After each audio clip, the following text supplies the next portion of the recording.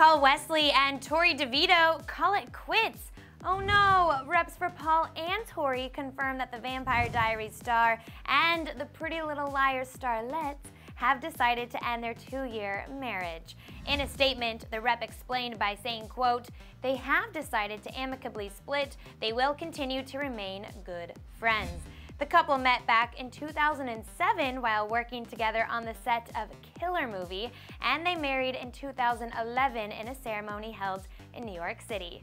Torrey actually appeared on The Vampire Diaries alongside Paul during seasons 3 and 4, and prior to playing good old Melissa Hastings on PLL, she also had a role on One Tree Hill. Fun fact, before Paul landed his breakout role on The Vampire Diaries, he had a very small role during season 1 of The OC. Amazing.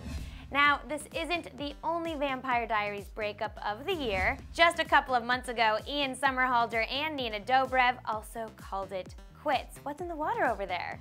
I'm definitely bummed about this breakup news, but are you? And what do you guys think went wrong? Let me know below or shoot me over a tweet or a Facebook message and then make sure you subscribe for all the latest on your favorite celebs all day, every day. In Hollywood, I'm your host, Katie Krause, and thanks for watching Clevver News. I'll see you back here later.